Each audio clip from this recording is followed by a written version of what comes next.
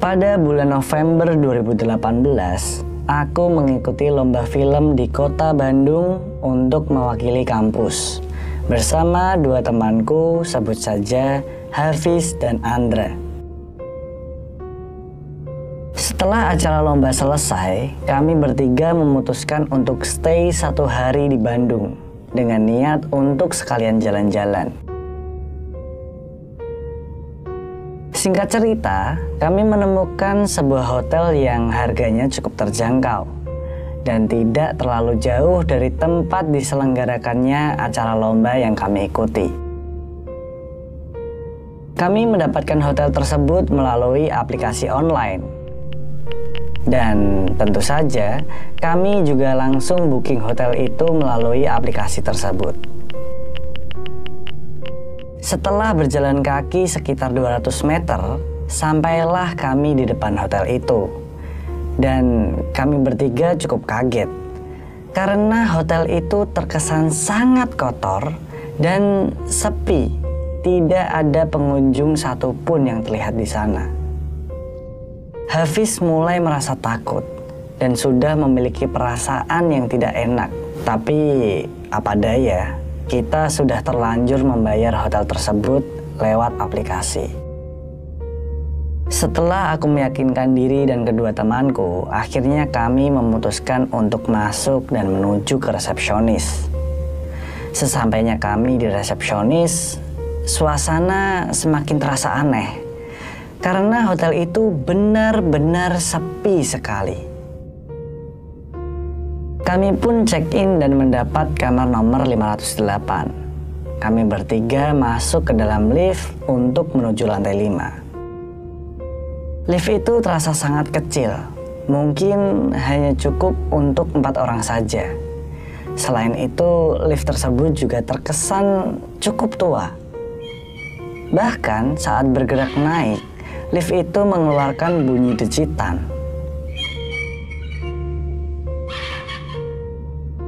Setibanya di lantai 5, pintu lift terbuka. Dan saat itulah kami terkejut. Karena ternyata ruangan di lantai 5 sangat gelap dan sepi. Hanya ada satu sumber cahaya dan itu dari luar yang masuk melalui ventilasi. Hafiz dan Andra sudah mulai takut dan tidak berani mencari kamar. Karena kamar nomor 508 ini cukup jauh dari lift dan berada di dalam lorong kecil yang gelap. Aku pun memberanikan diri untuk mencari kamar itu sendiri dan memanggil Hafiz dan Andra setelah menemukan kamar tersebut. Setelah masuk kamar, kami bertiga lagi-lagi dikejutkan dengan kamar yang terkesan kotor dan bernuansa horor dengan ragu, aku dan Andra masuk ke dalam kamar lalu duduk sejenak.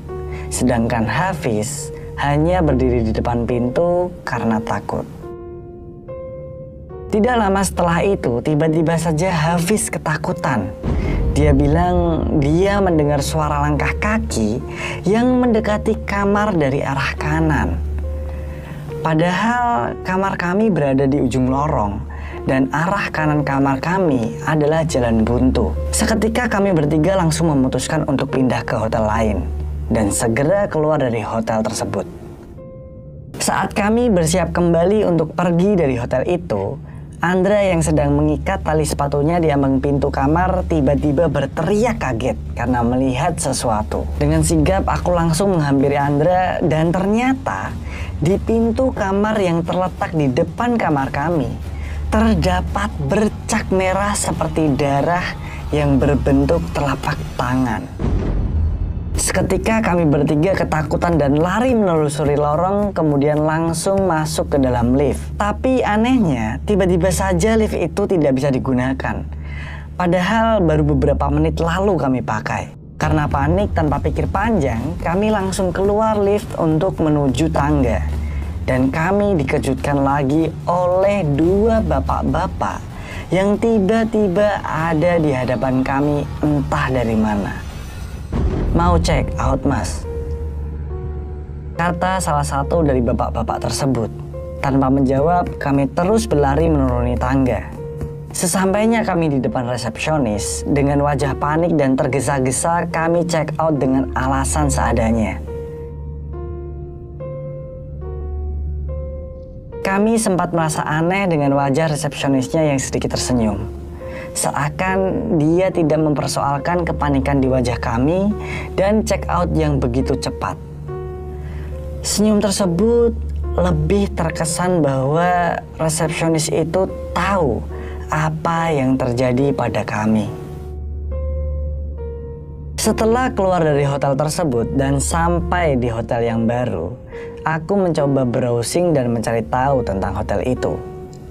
Dan ternyata hotel itu pernah terbakar hebat pada tahun 2003 dan tiga orang meninggal dari kebakaran itu. Yang mengejutkannya lagi, ternyata hotel itu sedang dalam keadaan dijual.